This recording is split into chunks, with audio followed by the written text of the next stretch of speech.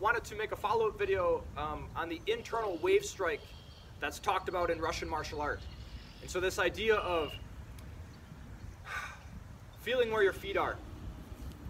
Think about all athletics. You need to understand the alignment of your posture starts with your feet.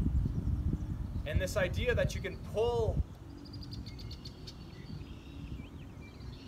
um, energy from the floor, but it's really an energy in the sense of uh, potential coiled energy.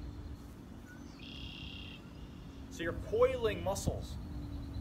And that's how you're, if you dig your foot into the ground and twist your body without moving the foot,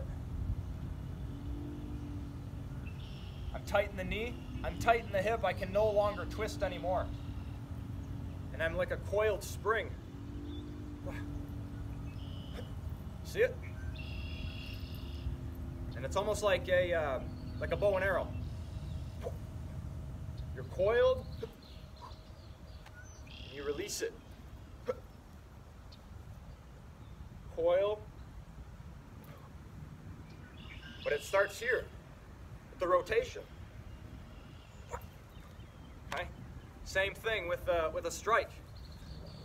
coil. Okay?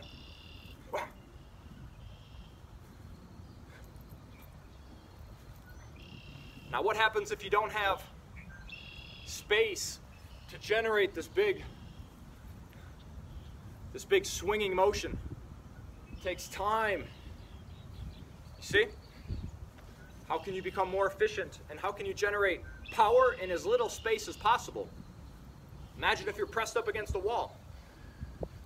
You need to be able to generate force within your structure. That's the biggest thing.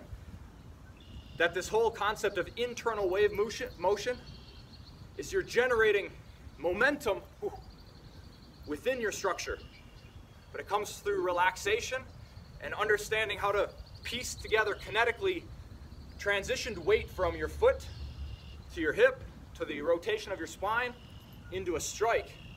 And that's why if you can keep like almost like a figure eight pattern, especially in your in your movement patterns, protecting your center line, maintaining your posture, that kind of makes you a more efficient fighter because you're loose, you're ready to transition into any movement.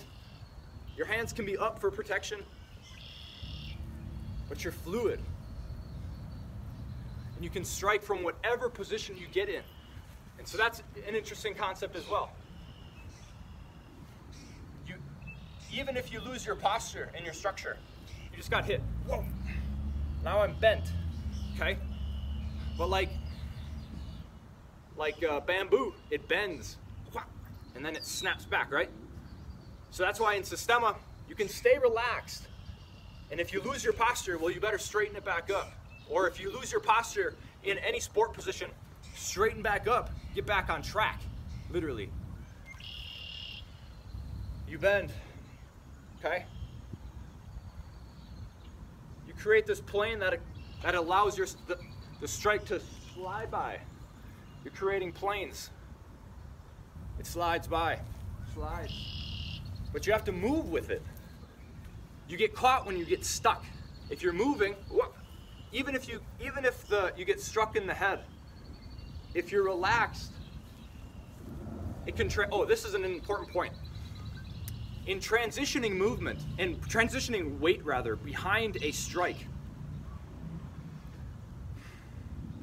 precision is all about the alignment of where you hit them, where you hit an individual. So consider the jaw or the body. The body's pretty armored up with muscle. And so you have to penetrate that. How do you get into that? And so that happens with timing and precision and relaxation, but also having all of your weight behind the strike. And so when, when you consider punching,